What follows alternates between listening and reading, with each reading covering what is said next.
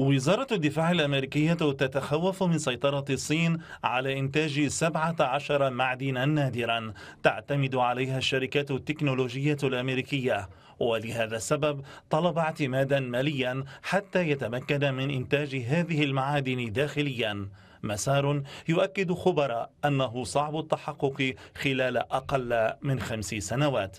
البنتاغون قال إن بكين قد تستخدم هذه المعادن في الحرب التجارية التي أشعلتها واشنطن علما أنها تدخل في صناعة الطائرات الحربية وهواتف آيفون والمحركات النفاثة والليزر وتمثل 80% من الموارد النادرة التي تدخل في هذه المنتجات. بكين لم تطمئن واشنطن ولكنها لم تهددها صراحة إذ أعلنت على لسان المتحدث باسم وزارة التجارة غاو فينغ أن من غير المقبول استمرار توريد هذه المعادن في وقت يحظر فيه عمل الشركات الصينية. بكين تعطي الأولوية لتغطية الاحتياجات المحلية وهي مستعدة لتلبية الطلب المعقول من الأتربة النادرة للبلدان الأخرى.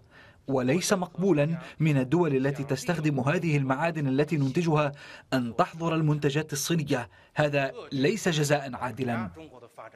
الصين وصفت العقوبات الاقتصادية بالإرهاب والتنمر وذلك على لسان نائب وزير الخارجية تشانغ هان هوي الذي جدد التأكيد أن الجميع يخسر في هذه الحرب. والقول إنه سيكون للحمائية أثر خطير على التنمية والتعافي الاقتصادي العالمي.